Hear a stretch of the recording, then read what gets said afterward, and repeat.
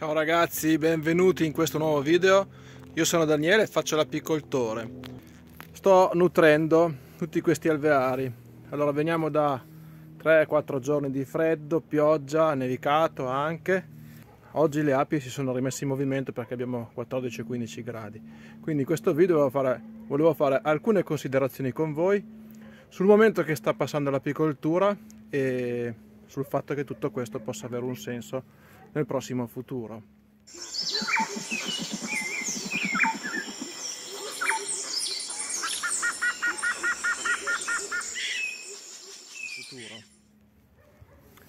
Allora ragazzi eccoci qua, quindi come ho detto nell'introduzione del video ero qui che stavo nutrendo, ho dato un panetto di candito ad ogni cassetta, oramai le api sono partite decisamente forte, la covata è su tutti gli alveari, i nuclei sono, sono belli anche loro.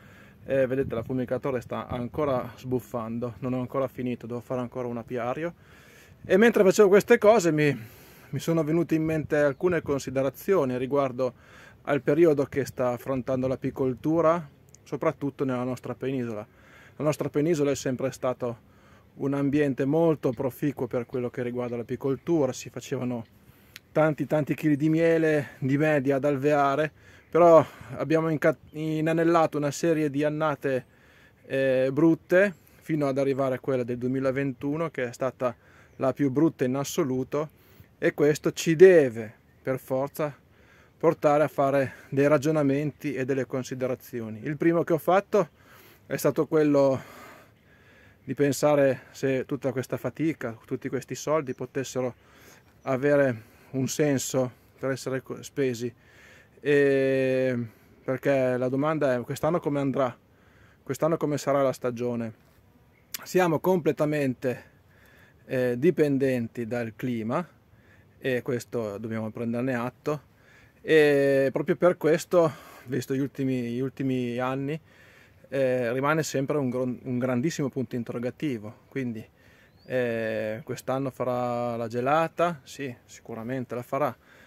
Eh, consideriamo che veniamo da un'annata che è stata una siccità tremenda per mesi, qua da me non ho piovuto per quattro mesi abbondanti, quindi un'altra incognita è le piante avranno già patito dalla siccità che c'è stata, molto probabile, e quindi le considerazioni si, si susseguono una dopo l'altra e un po' scoraggiano un po' l'animo, e un po' diventa un'abitudine vedere annate con poca resa, annate non soddisfacenti e un pochino si rischia secondo me di fare la fine della rana eh, nella pentola dell'acqua calda che piano piano si scalda, piano piano si abitua e poi ci lascia le penne.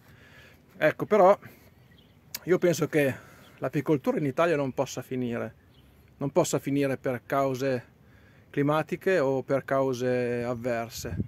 Penso che in Italia abbiamo un grande bacino di persone competenti e penso soprattutto che eh, soprattutto i nuovi apicoltori che si stanno formando in questi anni saranno proprio quelli che avranno la capacità di vedere eh, una soluzione magari anche contro il clima perché ricordiamocelo che è sempre nei momenti più, più bui della vita che si trovano le soluzioni più, più brillanti e questo è, è una pura verità. Vedremo, secondo me, nei prossimi anni uno stravolgimento del mondo dell'apicoltura.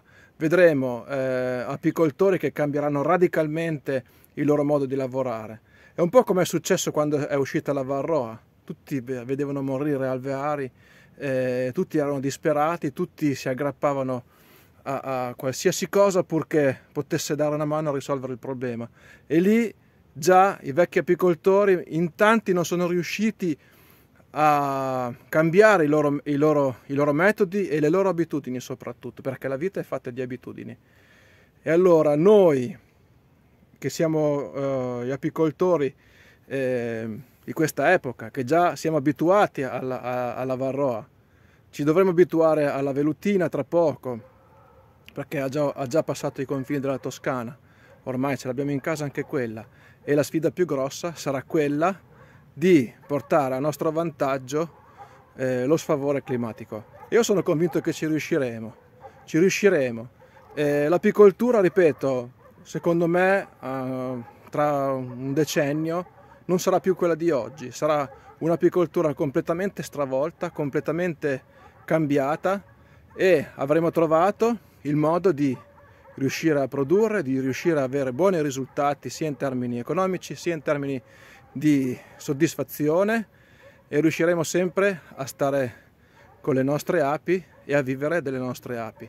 Questo è il mio pensiero, ragazzi. Voi scrivetemi qui giù nei commenti cosa ne pensate, se avete qualche idea a riguardo, se avete già fatto questi pensieri, se avete già eh, affrontato l'argomento magari con dei, con dei colleghi o con degli amici oppure tra, dentro voi stessi. Eh, a me interessa tantissimo sapere la vostra opinione, quindi scrivetemelo qua sotto. Eh, vi ricordo come sempre di iscrivervi al canale, se il video vi è sembrato interessante mettete un bel like e noi ci vediamo sempre su YouTube, su Facebook, su Instagram, eh, chi mi segue lo sa, ci sono sempre. Un saluto a tutti, ciao ragazzi!